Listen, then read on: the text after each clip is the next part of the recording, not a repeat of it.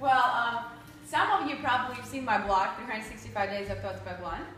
Some of them you probably read it. And uh, the story why I started it, uh, the, the true answer is everything what I write down, it's not for anybody else, it's for me. It's my like dialogue with myself, telling me, Victoria, be this, do this.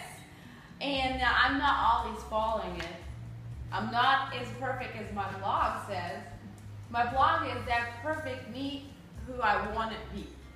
You know, it's that ideal, that ideal me that I will never reach, but at least it's encouraged me to be better. Last year, when I lived in Russia, my friend, she's a kind of like, she's a therapist. She's like, oh, Victoria, you need to take some sessions. It's really fun.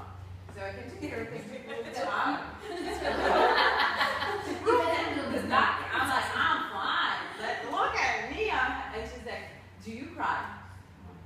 no, I, she asked me, when did you cry the last time? I said, I don't know, many times. 20 years or 20 years ago, I don't know, never.